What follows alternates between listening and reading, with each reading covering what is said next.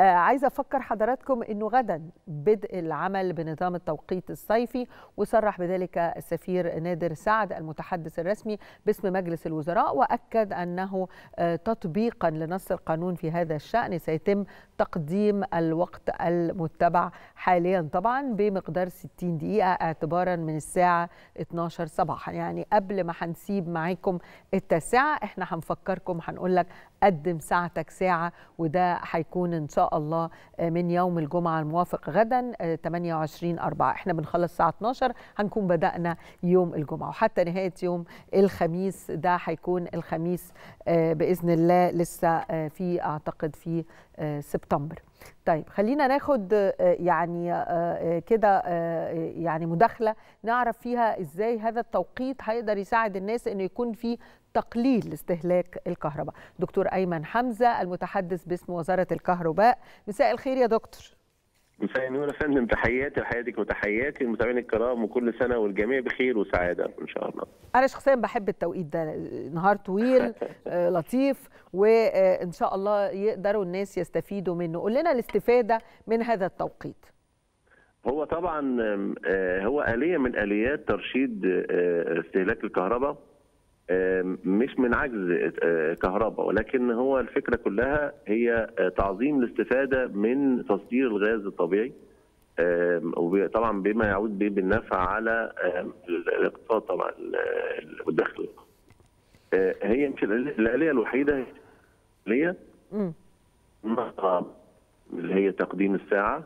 تمام. بحيث إن هو الاستفادة من النار الطبيعية لمدة ساعة. آه بالإضافة إلى في آليات أخرى هي ترشيد بل كان معالي دوله رئيس الوزراء أعلن من فترة الجزء الخاص بترشيد الإنارة اللي في الميادين العامة في الهيئات والمباني بتاعة الحكومة والوزارات آه بالإضافة إلى ضبط درجات الحرارة الخاصة بالتكييفات كل الحاجات دي كلها طبعا. آه دي من ضمن الآليات اللي موجودة لترشيد الاستهلاك زي ما إحنا قلنا.